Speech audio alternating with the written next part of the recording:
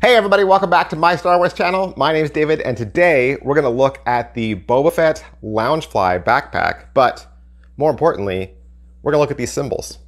What do they mean? We would be honored if you would join us.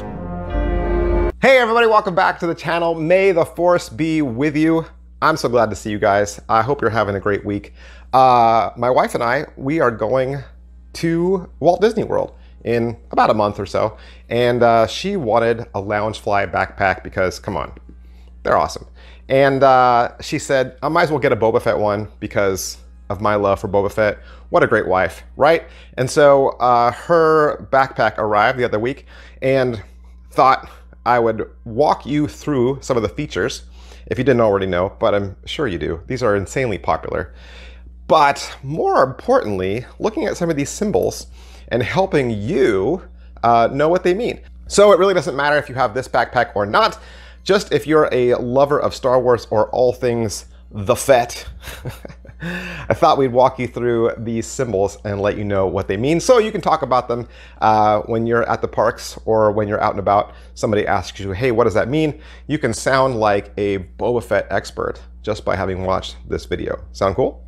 Just looking at the outside, some of the features, of course, it's all done in Boba Fett's colors. Uh, you got a little plate, a little metal plate on this side that says it's from Loungefly. On this side, there's one of those symbols we're gonna talk about. Here's your straps on the back, and it says, he's no good to me dead, which is Boba Fett's famous line from the film. Uh, you only have two main pockets on these, two uh, nice strong zippers here, but you have a wide, deep pocket there and there's a little sub pocket inside the pocket right here. That's probably for your phone. You can't see it. Uh, there's a phone pocket or uh, uh, a wallet pocket right up there at the top. And the liner says Boba Fett, which is pretty cool. I think I've seen one that has a different liner, so I'm not sure about that one. So here's that same uh, symbol that we're gonna look at, and then a front little wallet pocket there. All around, uh, these are really fun backpacks, super collectible. I'm sure you've got one or two. And let me just say, they're not just for girls anymore. They used to be something that uh, you'd only see girls wear, but now you see the guys wearing them too because, well, it's Star Wars, and come on, how fun is that? All right, so let's talk about the symbols. And really, there's only a couple here. Uh, this main symbol that you see on the front, this is just Boba Fett's chest plate. Uh, same as you'd see right here. And of course, this is his T visor. This would be his mask, right? But the first symbol we're gonna look at is these little yellow stripes that are right up here at the top. And if we were gonna switch over to his helmet, see here's the T visor, uh, you'd see those yellow stripes right there as well. And those are called the kill stripes, okay? Those are called the kill stripes.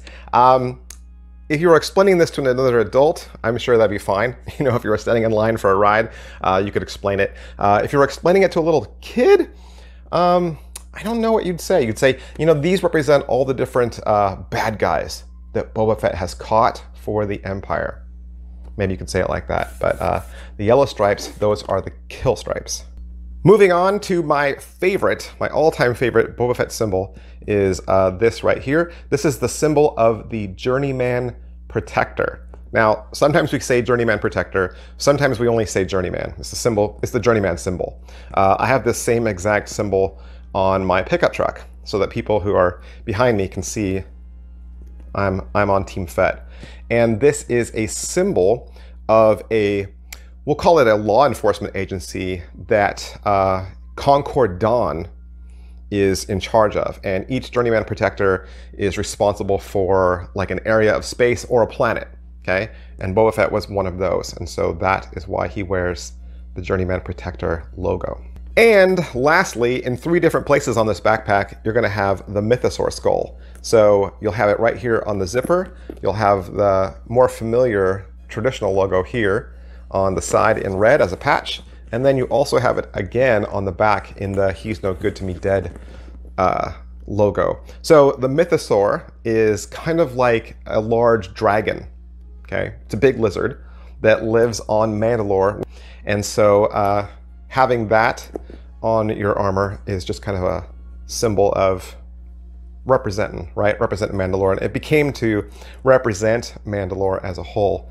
And so those are your three symbols. I just want you to kind of know what they were, right? So we have the kill stripes, we have the Journeyman Protector, and we have the Mythosaur skull. All right, so what do you think about the Loungefly backpacks? Do you have one? Does your wife have one? Do you collect them? Which one is your favorite? Just saw a new one that came out that has all the Star Wars princesses on it. That one's pretty cool. I showed that to my wife and I was like, maybe you need, maybe you need two. Maybe, maybe I need this one, right? Maybe I need this one and my wife needs one that's a little bit more girly. I don't think I'm gonna convince her. I, I really don't. And if you're wondering why in the world I reviewed a Loungefly backpack, it's only because this channel is all things Star Wars. All things Star Wars. So it doesn't matter if it's vintage or if it's new or if it's Disney or it's Lucas.